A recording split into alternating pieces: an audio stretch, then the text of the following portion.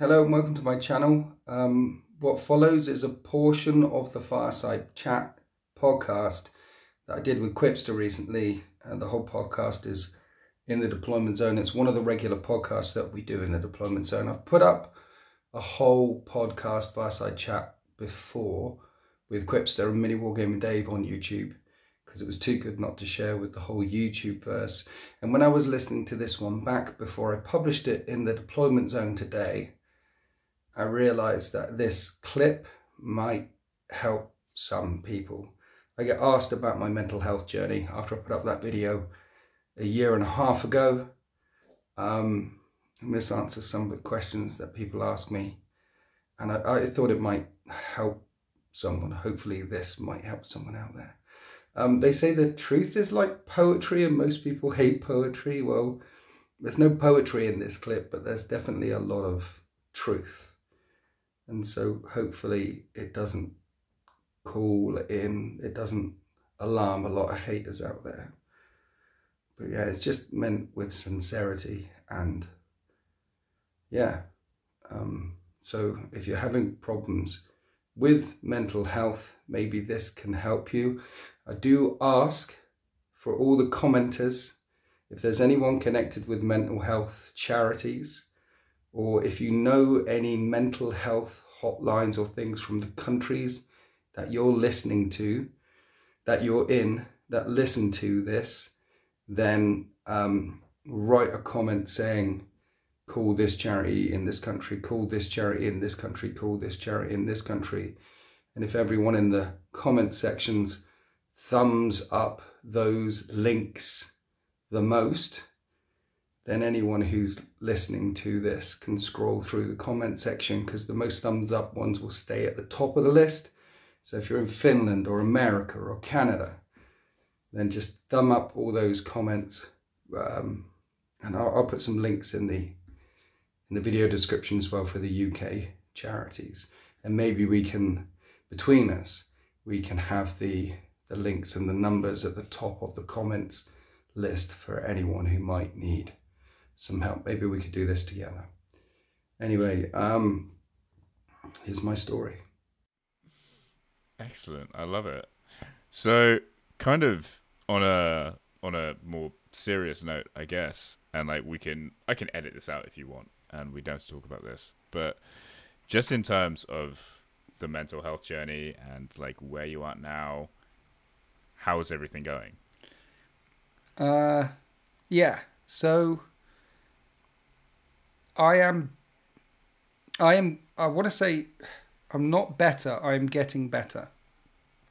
So I am miles away from hell now, uh, compared to where I was a couple of years ago. The things I know a lot more about my mental health. I know a lot more about mental health in general.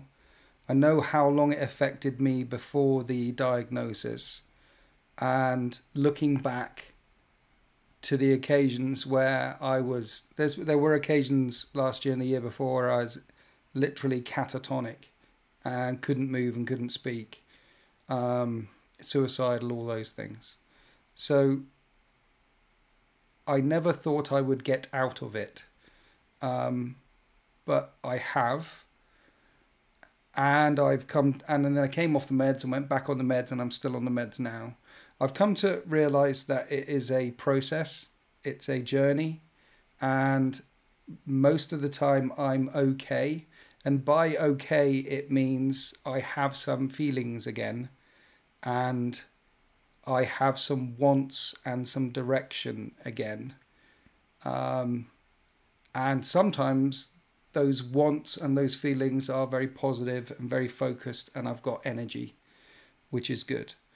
Um, and very few occasions, there's very few occasions where I'm wiped out by it. And on those occasions when I am wiped out by it, the periods are growing further apart and shorter in time. Um, my base level is not normal, but it is not suicidal anymore. So it, it's it's it's not normal, but it's okay. It's manageable. It's it's it's I'm getting to the point where this is funny because I make 40k for a living and I'm waiting to go back to work next week and I'm having fun all the time. And I'm waiting to get to the point there's been a couple of occasions where I feel like yeah life's good life's good. But that's only occurred to me I've only felt that only a couple of times. I should given my circumstances be feeling that a lot more. But the fact that I'm getting there is good. So, long story short, I'm getting better. Um, and I'm looking forward to. I, I'm getting better, and the trajectory's generally always getting better. The side note is the long term consequences, the things that it's done to my memory and my ability to concentrate, my my imaginative process and my cognitive process, the juice in my brain, my brain is a bit gummed up. It's a bit sticky. Um, so I can't think as cleanly, concentrate as cleanly, imagine as cleanly. Uh, my attention isn't caught as cleanly as it was before. You you can definitely feel to some extent some of the neural scarring that must have taken place, which sucks um, because one of the things I, I was always extremely imaginative. I couldn't go on holiday somewhere for longer than a day without a pad and paper because then I would start writing or I would start drawing. I couldn't, like I said, that fidgeting thing, I can't sit somewhere for hours and not do anything. I, that wasn't me, but I can do some of that now sometimes. And the other thing is, um, I was a vast consumer of TV shows, books, movies, music, anything creative uh, would pour into me all the time. And now I don't watch many TV shows. I don't read or listen to many audiobooks. Um, I that I can't stay in that space for long periods of time. My brain falls out of that space after half. It has to be something truly engaging to grab me for a couple of hours. Um, the example I like to give is a couple of years ago, I went on holiday and brought all of Gaunt's Ghosts and read all of Gaunt's Ghosts in 12 days. And I don't know how many books that is, like 15 or 16 books. The last holiday I was on, I read the first three books of the Dune saga, and that's it. Um, and that took me all holiday to read all three. Um, and that's not fruit because I didn't want to, but that's because I get certain of my brain it just it doesn't. Yeah, so I'm getting better, but there is some cognitive scarring there, which is going to be there forever and ever and ever. But that's the way it is, and that's why you should look after your mental health.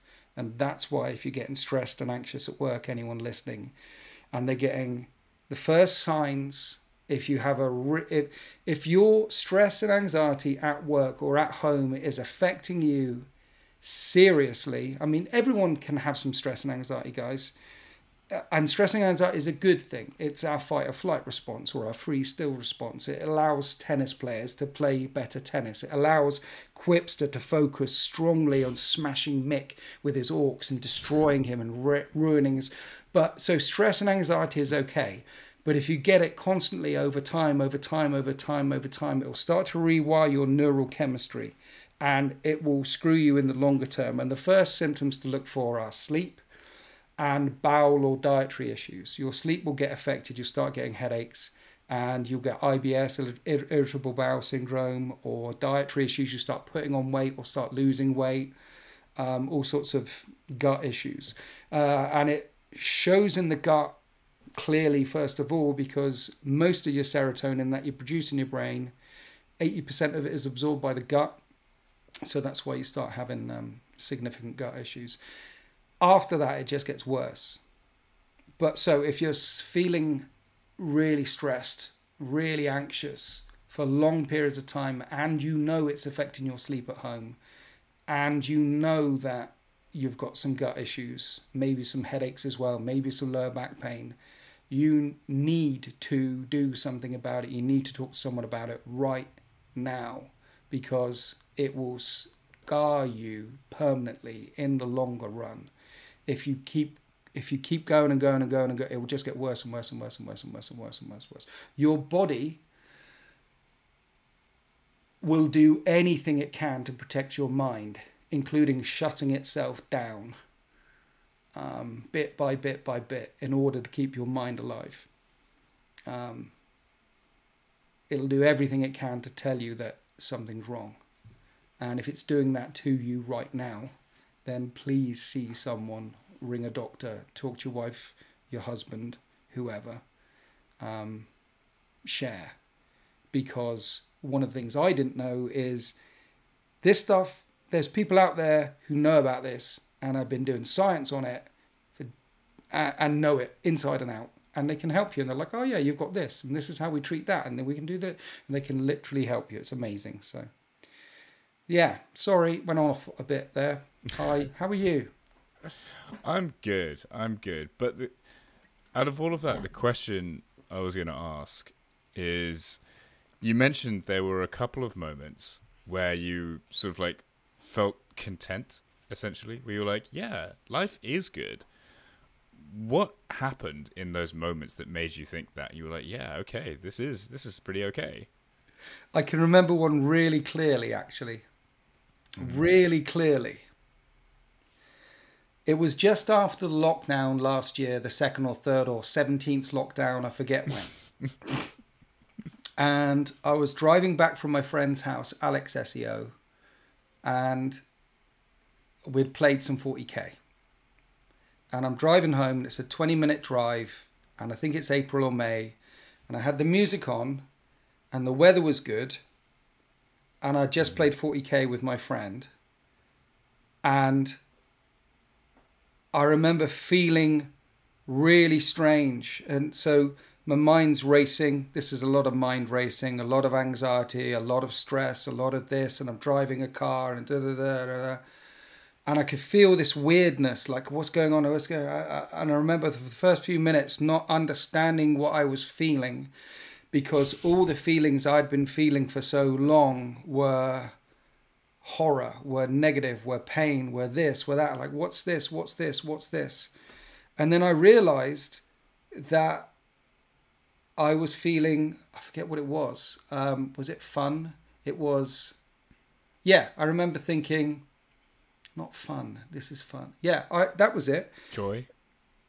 It wasn't joy. It was like, it was because it's all wound up in the mental stuff because you overanalyze your feelings as well. So as soon as you start to feel anything, you're like, what is that? Where is that coming from? Is it the right thing? And I was, and it was like, it was the realization that I had had fun and driving home with the music on in the sunshine this was fun. The act of driving was fun, and I just had fun. And I felt that weird thing that I was fighting against and fighting against, and it was like, I, I, I feel this is fun. I'm having fun. I'm feeling the fun feeling, and then it broke through because I couldn't remember the last time. Genuinely remember the last time I'd felt fun. Just this is fun. I'm having fun. I had fun and I'm having fun driving right now. Because fun is harmless. If you have fun, if I have fun, it doesn't hurt anyone. Fun's harmless by definition in most cases. So uh, uh, it's fun. And I broke out into a massive smile, like a Richter smile. And I remember thinking again, overanalyzing, why am I smiling so much? I couldn't stop smiling. And I got home and I got into the house and started laughing. And Kat said, "Right, you're having a freak out while you're laughing." And I stopped laughing. And I'm like, ah, "No, no, no, i I feel fun. I feel it's like and my face hurts from smiling so much. It's like it hurt from smiling." So that was the first time I'd felt genuine, innocent fun in I don't know how many years. Just naked fun, not which was uncontaminated by anything else. Driving back from my friend's house after playing 40k in the sunshine with the windows down and the music on was fun. That's the first time it struck me like, ah, this is good.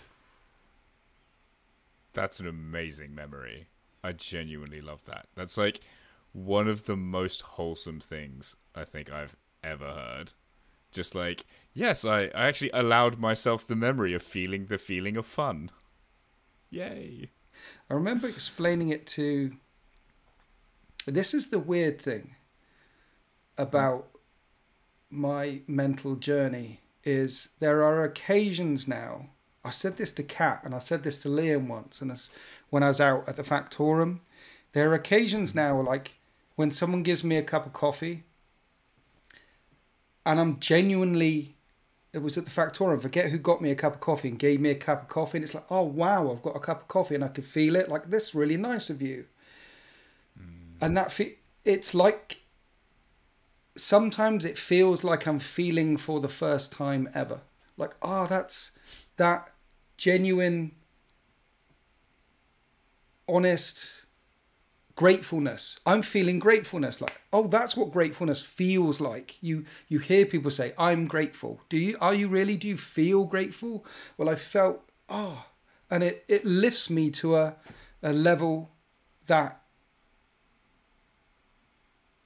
feels like I've never felt grateful before. So there are occasions where I felt grateful, and, I, and there's occasions where watching a sunset or something, it's like I'm seeing it for the first time.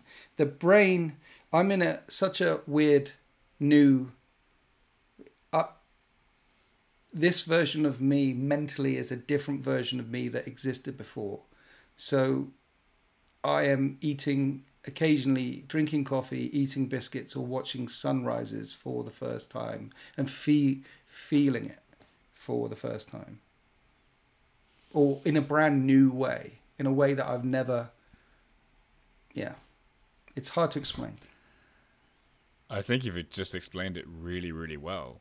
I think the only the only thing I would add, sort of as a caveat, and like I've I've experienced this, and it'd be interesting to, to hear your, your take on this too, I think a lot of people expect depression to just be like I am sad all the time. And I think it can manifest like that. But when I sort of like went through like my last depressive episode, it wasn't a feeling of overwhelming sadness all the time. It was just an absence of all emotion.